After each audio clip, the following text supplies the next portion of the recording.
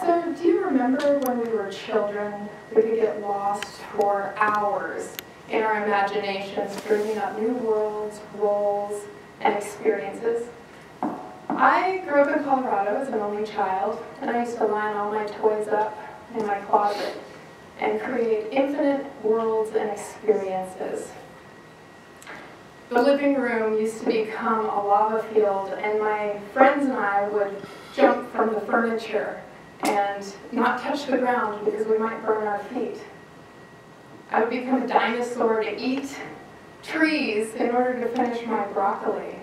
and I saw the world as an infinite and beautiful place.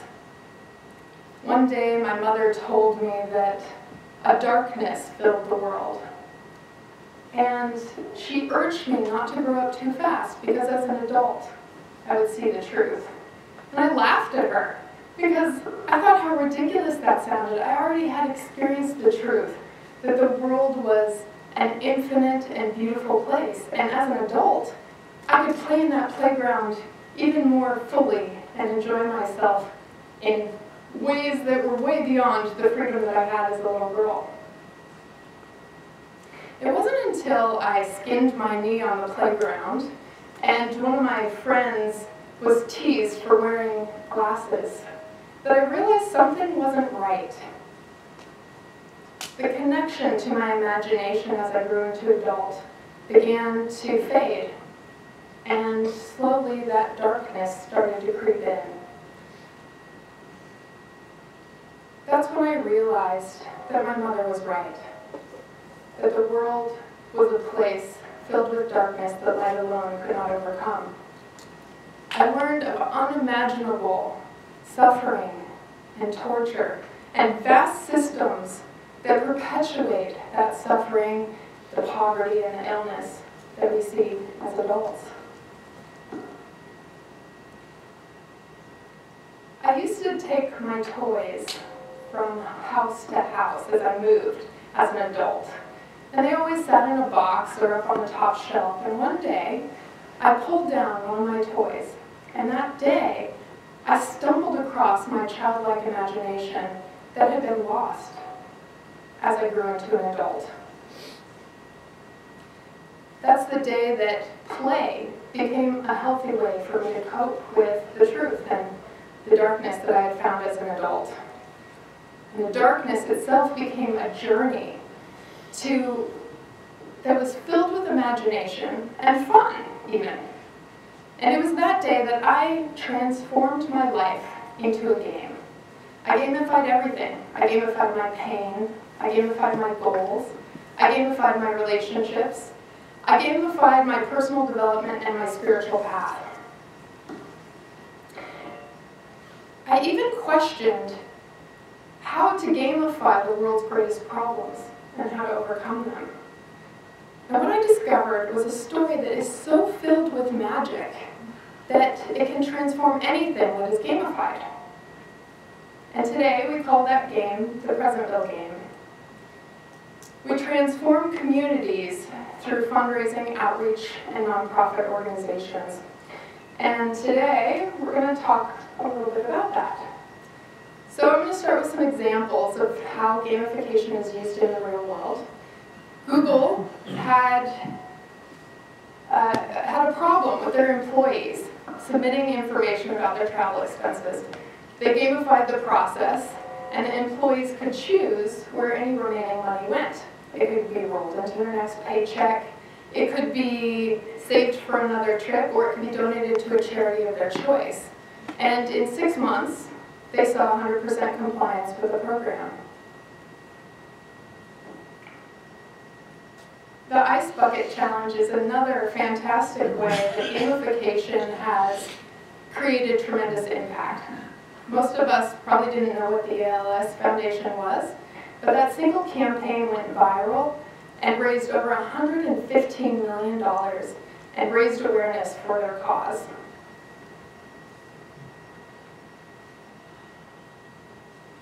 Today I'm going to talk about three ways to gamify nonprofit outreach, education, and fundraising. The first is with the use of an avatar and storytelling. The second is with virtual reality or augmented reality, and lastly, using blockchain technology. I'm not going to be able to go into all the details about all of these, but we'll touch on each of them briefly.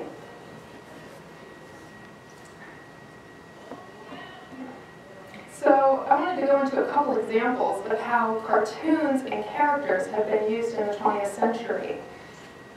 Many of you probably know Smokey the Bear. I come from Colorado, so we see him everywhere. He was created in 1942 in order to help educate the public about forest fires and how to prevent forest fires. Many of you probably know Tony the Tiger, who was created to help sell cereal. He was created in 1952 by Kellogg's. And in both of these cases, you can see that they have had a lasting impact on our world.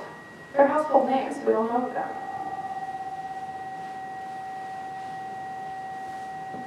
So in both of these cases, marketing teams created these avatars. And something really magical happens when instead of a marketing team who's trying to sell cereal or educate the public, when a grassroots community creates an avatar to change the world. In 2009, I created a process to this process is, is used in communities all around the world. I traveled to five different continents using this process and bringing toys into a community in order to create an avatar that the community assigns features itself.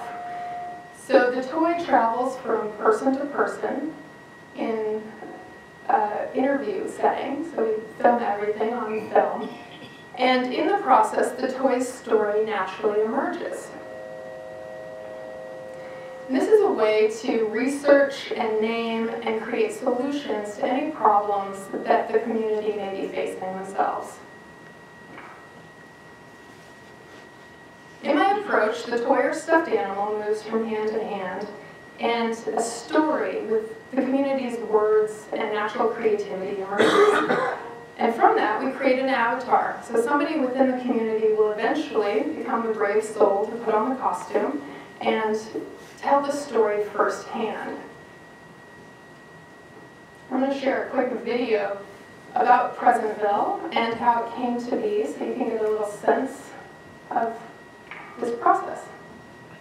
Presentville really started with three people in the slums of Argentina exploring play with a whole bunch of toys and kids and has grown to hundreds of players around the world. The kind of mythos, as I see it, of this game is that the Intergalactic Council has sent CCs from the future through a projection portal to welcome this very important group of human beings who have been chosen to help ignite or initiate a transformation in human species. So Presentville and all of the other dimensions where players enter into an alternative version of the universe that actually still maps onto this one in every realm, whether it's their school or their work or their play, we have now a persistent virtual layer that's accessible to any player, to any device, anywhere. Some layers of that may be geographical, like linked to the Earth's physical places. Some layers might be abstract, other dimensions. That's happening right now. The edges can blend where you become homeless and then you become a homeless bear and you're telling a story not only for yourself but a whole community of homeless people. Your small part of the story can then gain impact for a whole population. And that's where it becomes really addictive is when you start to see what you're doing is actually creating benefit in the world. And you're seeing real world results that somebody is getting a house because they played Sammy the homeless bear and then a fundraising campaign happened and then the money was raised and then they have a home and they've overcome it and we've proven one system for creating benefit for one individual that then can then be passed on to another individual. We're basically calling all hands, all world healers, come play this game with us. As a child, you have access to infinite possibility. The world is your oyster. You can be anything you want at any moment. And nothing has changed now that we're adults other than that we forgot to use our imagination. So hopefully you can hear that. It's turned all the way up. So in Pleasantville, we create these avatars and then we upload them into a virtual world. For many of you who have, been, have never been into virtual reality, this is what a headset looks like.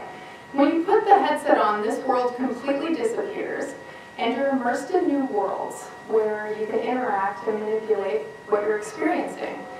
You can also use this with augmented reality, which is a little different. It's more like sunglasses or a regular set of glasses, and you overlay the digital world on top of this world. And I know we're going to be seeing this more and more as time goes on. So this becomes a really wonderful way for clients and donors of nonprofits and the staff to actually step inside the storyline and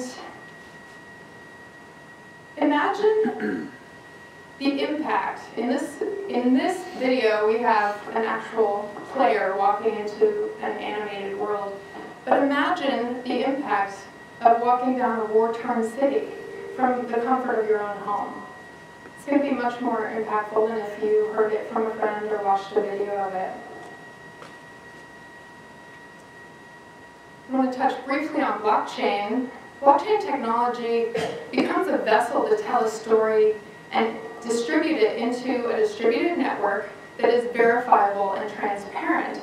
And with any game, you want to be able to make sure everyone's playing by the rules. So that's how we do this in Pleasantville. We can keep track of players and their actions within the game using blockchain, and we can also track the resources that are coming in and out of the game using blockchain. This is Global Peace Train. This train is actually a toy, but it's blown up into uh, the real world. And you can see this, this train in some of our live art shows. You'll see it either in a small version or in a big version in some of the digital worlds. And I love how we can move from kind of toy into the real world and start navigating through our imagination and connecting to our childlike imagination in this way. So Global Peace Train is the dis distribution network for the Pleasantville game. It is a nonprofit organization that we use to move these resources about the communities that we're working with. So this is Sammy Bear, and I want to share a little bit of this avatar. He was created in 2010 by a player in the UK. This toy, it started out as a pretty big toy, and it was the gentleman's favorite toy growing up, and he had carried it all the way into his adult life. And he donated it into the project to start to address homelessness and affordable housing. And his name was Sammy Bear. We, we took the bear across the U.S. researching with individuals doing, um, doing interviews on film with people who are homeless and people who are affected by homelessness to start to look at what it means and what some solutions to the problem could be. And eventually, one of our brave players in Colorado cut the bear up, turned it into a costume, and became Sammy Bear himself. And now, Sammy Bear has been played by many different characters who are either homeless or exploring homelessness from a point of view of art. And so we have these live art shows where people actually come into the art shows and can put on the costume and feel what it might feel like to panhandle within the art show. It's a great way to create empathy. We also encourage all of our characters who are part of a Sammy Bear team or who are playing Sammy Bear to work on the actual homes that we've created. So we use this avatar recently in fundraising for affordable housing in Boulder, Colorado. It's similar to California, quite expensive. And the results have been quite shocking. We were able to raise over $68,000 and create and buy a home for a senior who was homeless. And since then, that home has also created housing for six other adults, as well as the caretakers who came into the, the home to help the senior in and out of the hospital and then reintegrate into society. And in the process, there were also four animals who have enjoyed the home. That's been in the last two years. So now we're working on the second home. Actually, The first prototype is here in California, a couple hours north up in Kelseyville. And the initial home, we finished, it's about 70 square feet. Were using a very special, um, we're, we're using a material mostly made out of air. It's called aircrete. You take quarter cement and then you mix it with air that is made out of air bubbles just from ordinary soap. And it becomes quite light and a very sustainable and affordable building material. So this was our first, and we learned a lot, obviously, when we were doing this, and we're now working on the large home. We'll soon be doing an art show where you can come in and you'll see the front door of the home, and then you'll enter into augmented reality in order to walk around the digital version of the home. That will help us with the fundraising for the full-size home, as well as the documentary about this. So, I want to take this opportunity to create a new avatar with everyone here so you can get a sense of how this process works. We're just going to do it for a few minutes.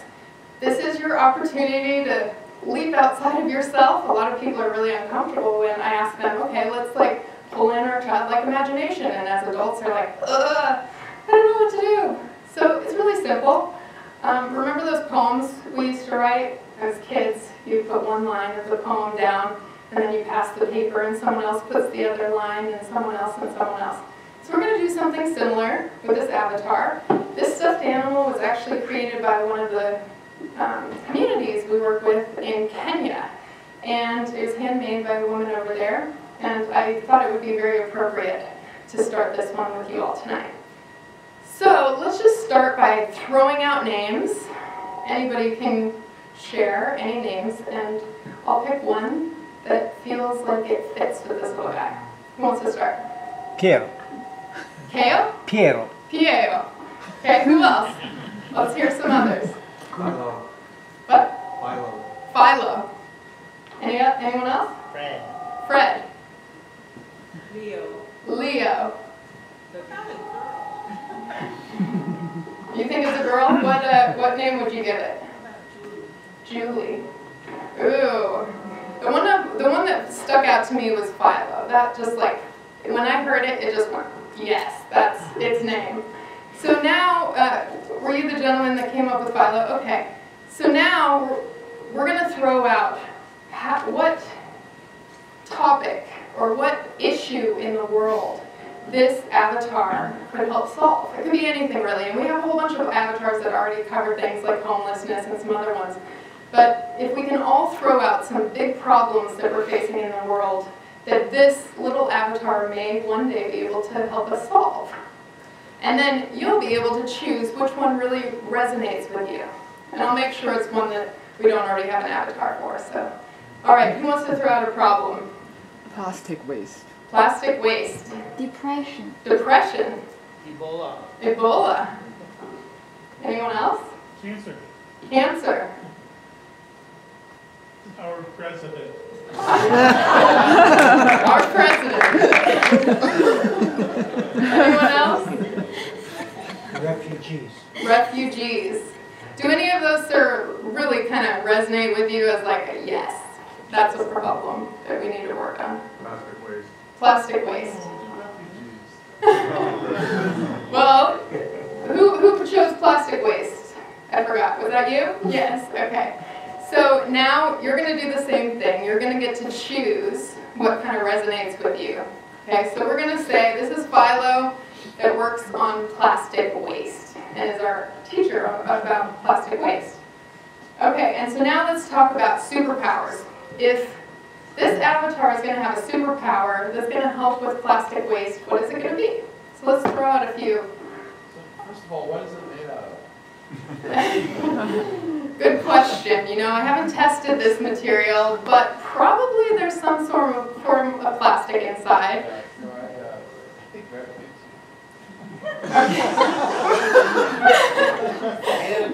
Well, what's that? We're hitting some nerves. I know, we're hitting some nerves. That's good. You know, things are working real well when you're hitting the nerves. So, so we're going to decide now, okay, what superpower this avatar would have in order to overcome the problem of plastic waste. So some pe- some people Turns plastic waste. Turns plastic waste into lilies. Is that right? Okay, what else? Time travel. Time travel. Great. What else? Well, maybe you only have two to choose from, unless anybody else has an idea. Turns home, turns plastic waste into homes for refugees. Turns plastic waste into homes for refugees. Great. Do any of those resonate with you, or do you want some more? Um, to me, maybe can uh, Can eat plastic. can we like can do molecular level or atomic level or reorganization of plastic waves and uh, waste and then form them into a kind of home for homeless people, refugees, and everyone. Okay. So one day you all might run into this character in full costume, who knows? And it may be helping us overcome the plastic waste problem by producing homes for refugees. So keep a lookout for Philo here in the future. And uh, I think that's enough for tonight, so I'm glad we all got to share this experience, and thank you very much.